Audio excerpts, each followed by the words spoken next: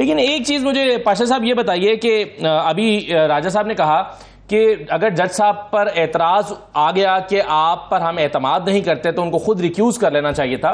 लेकिन जब उनके ऊपर एतराज़ आया, और वकला ने कहा कि आपने कुछ फेसबुक ऐसी पोस्ट की हैं जिससे आपका बायस शो होता है तो उन्होंने कहा कि ये मैंने पोस्ट नहीं की और आप जाकर इसका फॉरेंसिक कराएँ, और जब फॉरेंसिक रिपोर्ट आ जाए तो फिर आप मुझ पर आकर एतराज़ उठाइएगा।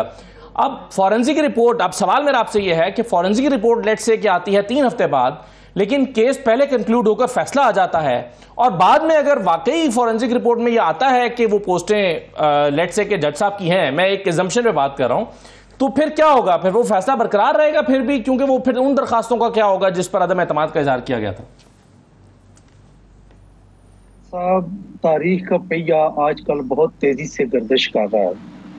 आपको याद होगा कि हम्म। आला तरीन अदलिया में कुछ केसेस फिक्स हुए माजी करीब में। और एक फरीक ने बारहा एतराज़ किया कि फलां जजेस नहीं होने चाहिए। और उस पर यह वर्डिक्ट आया कि क्यों नहीं होने चाहिए? ये कैसे हो सकता है? अगर आज ये भेड़ चाल चल पड़े कि एक जज पे एतराज़ हो और एक फरीक कर दे तो फिर जज डिक्यूज करते जाए तो ये तो ना खत्म होने वाला सिलसिला है। आज वही बात इधर भी आ गई। देखें ये चीज़ें हमें उस वक्त अगर ये देखा जाता, एक मिसाल कायम हो जाती कि जिन जजेस पे एक फरीक एतराज़ कर रहा है, बायस्ड होने की वजह से या किसी भी वजह से तो हो जाना चाहिए। मेरा तो इस हवाले से मैं कई प्रोग्राम्स में ये बात कर चुका हूँ कि हमायूं दिलावर साहब को क्या ज़रूरत है? वो रिक्यूज करना चाहिए उनको। अगर उन पर एतमाद नहीं है तो छोड़ देना चाहिए। किसी और जज के पास लग जाए। बिल्कुल मैं अभी भी मेरा वही स्टैंस है जो आज से दो महीने या तीन महीने पहले केसेस में था। तो बात यह है कि इस मामले में ये सोचना चाहिए कि जो आपके खिलाफ जा रहा है वहाँ पे तो ये चीज़ ठीक है। और जो आपके हक में जा रही थी उस वक्त आपका स्टैंस ऑल टूगेदर डिफरेंट था। हम्म। तो ये चीज़ें बाहर आज देखनी चाहिए। आर्टिकल टेन इज़ देयर वहाँ पे ये आइन में ये दी गई है फेयर ट्रायल वाली बात। मौका सबको मिलना चाहिए फेयर ट्रायल का। अब मैं इस केस की तरफ़ आता हूँ, जो साको बशीर साहब ने फरमाया कि ये मई में दी गई थी। मैंने उस वक्त भी ये कहा था कि जब ये केस एक एडिशनल सेशन जज को मार्क हुआ, और उस वक्त ये ये नहीं की गई जुरिस्डिक्शन वाले जो पॉइंट रेज नहीं किया गया। अगर उस वक्त करते, ये उस वक्त किया गया जब ये चार्ज फ्रेम हुआ, उसके बाद ही, मैं पहले की बात कर रहा हूँ कि जब चालान भेजा गया केस अदालत में उस वक्त जुडिक्शन वाला पॉइंट रेज कर देना चाहिए था इनको। हम्म। अभी आप कभी इस्लामाबाद हाई कोर्ट की कास्ट लिस्ट उठा के देखें कि लोग किस तरह अपने केस की फिक्सेशन के लिए धक्के खा रहे हैं। तीन तीन चार चार साल से उनके केसेस जो हैं वो फिक्स नहीं हो रहे। और जिस तरीके से ये इन केसेस की इन एप्लीकेशन की फिक्सेशन हो रही है ये रूटीन से हटके है। ठीक है एक बहुत ही इंपॉर्टेंट शख्सियत है सबक वज़ीर आज़म है। इनको मिलना चाहिए लेकिन हर एक इंसान हर एक शख्स जिसका केस इस्लामाबाद हाई कोर्ट या सुप्रीम कोर्ट या किसी भी हाई कोर्ट में पेंडिंग है उसके केसेस भी उनकी जो अर्जेंसी की नोयत है उनको मद्देनजर रख के फिक्स कर देने चाहिए। नहीं होते नहीं होने चाहिए। लेकिन किए जा रहे हैं। और हमने ये देखा है कि जब भी अला तरीन अदलिया ने किसी को रिलीफ दिया तो वो दो फैमिलीज़ हैं। एक एक ये है पीटीआई के चेयरमैन साहब और दूसरी शरीफ फैमिली आम बंदे की कोई सुनवाई नहीं है सर जी जी। ये एक अनफॉर्चुनेटली बड़ा एक ऐसा पहलू है हमारे निज़ाम इंसाफ का जिस पर बहुत सारी उंगलियाँ हर वक्त उठाई जा सकती हैं और उठाई जाती हैं। अच्छा हम अगर हसन रजा पाश साहब तीन मतलब दो तीन केसेस मेरे जहन में आ रहे हैं। एक अभी एफ़ आई ए का मनी लॉन्ड्रिंग का केस चल रहा था सोलह अरब रुपए की मनी लॉन्ड्रिंग का, लाहौर की एफ़ आई ए की अदालत में। लेकिन डेढ़ साल तक वो केस चला।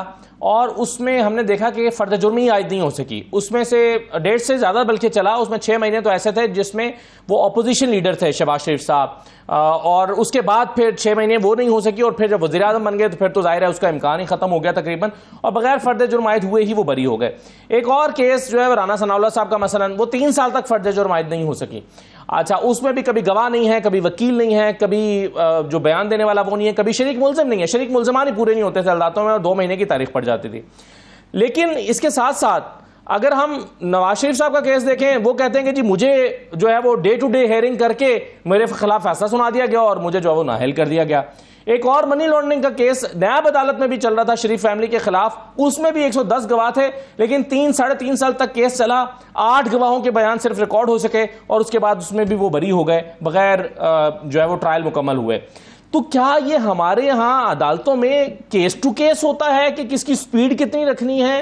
किसका फैसला कब सुनाना है किसकी फर्द जुर्म आयद करनी है और किसकी नहीं करनी? क्या ये केस टू केस वेरी करता है या किसका को, कोई कानून में प्रोसीजर मौजूद है? मेरा ख्याल है कि मैं पहले अर्ज़ कर चुका हूँ बड़ी लाउड एंड क्लियर मैंने नाम लेके कहा है। ये अलमिया है हमारी अदालतों का और चूँकि हम इस प्रोसेस का सारा हिस्सा हैं वकील बत्तीस साल मुझे हो गए हैं इस प्रोफेशन में मैं भी देख रहा हूँ कि नॉर्मली जो है वो ऐसा नहीं होता। आम अक्यूज जो है, उनके केसेस इस तरह समाप्त नहीं होते। देखिए, बात यह है कि फ़र्ज़ जुर्म आयद नहीं हुआ डेढ़ साल। तो उसकी कोई रीजनिंग होनी चाहिए। अब आए अक्यूज पूरे नहीं है, वो हो गए। जब भी गवाह ना होने की बात पे अर्जन होगा तो वो आप ये नोट कर लें कि फ़र्ज़ जुर्म आयद होने के बाद गवाहों को तलब किया जाता है। फ़र्ज़ जुर्म आयद होने से पहले गवाहों को नहीं तलब किया जाता। तो फ़र्ज़ जुर्म आयद करने से पहले गवाहों का बहाना बनाने वाली बात मेरा ख्याल है वो शायद आपको सही रिपोर्ट नहीं की गई। हाँ अगर फ़र्ज़ जुर्म आयद हो गया है उसके बाद गवाह नहीं आ रहे तो ये एक चीज़ है। अब अगर आप इसको इस केस के साथ मवाजना करें तो जो तोशा खाना वाला केस है मेरे ख्याल में जो मेरी इतला है उसके मुताबिक सिर्फ़ दो गवाह थे जो कि इलेक्शन कमीशन ऑफ़ पाकिस्तान ने पेश की और उन पे जिरा हो गई। दो ही तो ये और दोनों रिकॉर्ड हो गए हाँ। तो इतने इतने टाइम में ये होना मुमकिन है। मुझे थोड़ी सी जो एक फीलिंग्स आई हैं जल्दबाजी वाली वो यकीनन आप उसका पहले भी ज़िक्र कर चुके हैं मैं at the cost of repetition खुद कर दोबारा कर रहा हूँ कि वो हाई कोर्ट ने ये कहा था कि विद इन सेवन डेज़ आपने डिसाइड करना है। और उन्होंने तीसरे दिन उनकी एप्लीकेशन कि जी के मेंटेनेबल है उसको डिसाइड कर लिया। एटलीस्ट सिक्स या सेवन डे तक उनको जाना चाहिए था वेट हाँ। करना चाहिए था। पीटीआई के चेयरमैन के वकला साहबान को उनको सुन के फिर डिसाइड करते। ये मैं उसकी मुझे जो एक नज़र आई कि ये इन हेस लगे इस हवाले से, ये अदालत को इस तरह नहीं होना चाहिए था। हमायूं दिलावर साहब एडिशनल सेशन जज हैं, कल उन्होंने सेशन जज होना है, एक हाई प्रोफ़ाइल केस वो उसकी समाप्त कर रहे हैं तो उनको ये तमाम तकाजे मलूज खातर रखने चाहिए थे, जो शायद किसी वजह से उन्होंने जल्दबाजी में ये काम किया।